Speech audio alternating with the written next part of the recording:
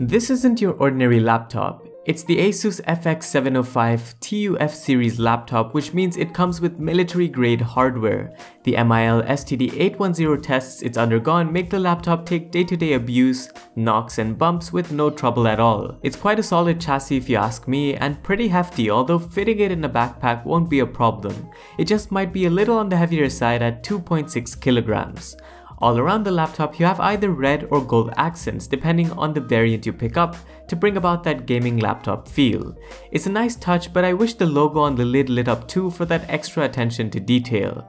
Speaking of the lid, there's not a lot of flex to it and it's got this nice radiating X pattern around. Our finish in the red matter is made of plastic but you do get a brushed metallic cover variant too. Now as far as the inside goes, the first thing that jumps to me is the display. It's a 17.3 inch panel with a 144Hz refresh rate, which reduces screen tearing in day-to-day -day activity. The bezels are pretty thin which makes it possible to fit a large panel on board, and also a front camera. You're looking at a 1080p resolution IPS display with decent viewing angles and a non-glare finish. You'll be able to watch your content on it with no problems and the speaker on board is pretty good too. The screen also gets bright enough and I'm sure you'll be able to use the display outdoors. But when it comes to on-the-go usage, I wouldn't bank on this thing too much. On idle and when doing low intensive tasks, the laptop holds its own. But if you want to do heavy editing or gaming on the go, you'll need to carry around the charger which isn't the most streamlined looking thing.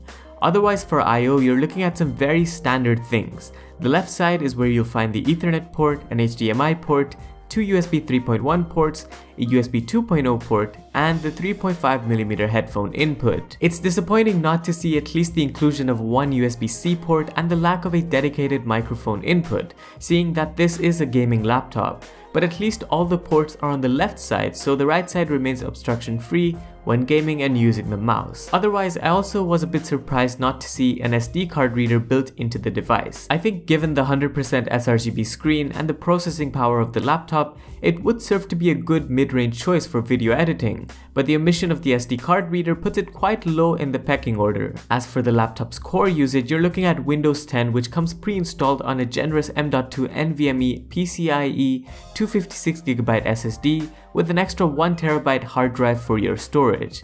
The laptop is running an Intel i7-8750H processor clocked at 2.2 GHz.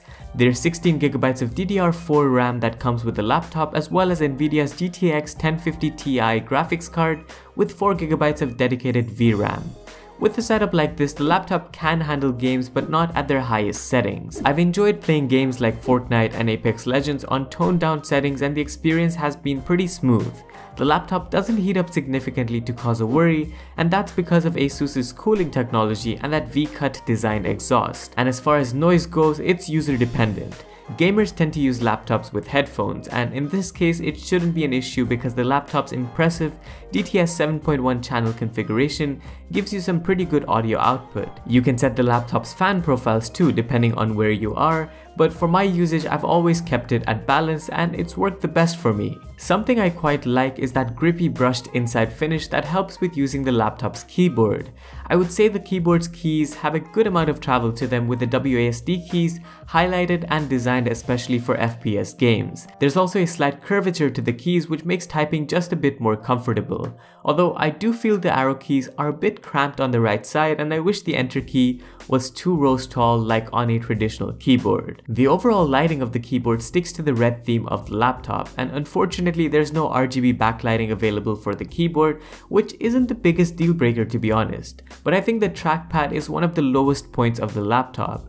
The pad is very cheap feeling and click registration feels uneven at different points on it. I'm also not a fan of having the left and right keys embedded on the mouse pad and would have much preferred dedicated keys for the trackpad. So when it comes to mid-range gaming in a rugged chassis, I think Asus has almost got it perfect. But for the asking price of dirhams 5199 it is on the higher side. Some things like the generous SSD, the 144Hz display or the TUF protection might not come on other laptops, but these are not the absolute necessities for a laptop of this range. As a general mid-range gamer, I think people look for versatility. Having the SD card slot or that dedicated port for audio are key things that many mid-range enthusiasts want, because at the end of the day, they want a laptop that can do everything well, and by skipping on those small and essential things and with the higher than average price tag, some people might sway to other competitors. Thanks for watching our take on the Asus TUF FX705. Let us know what you think about the laptop down in the description and make sure to subscribe for more videos coming up. I'll see you in the next one. Adios.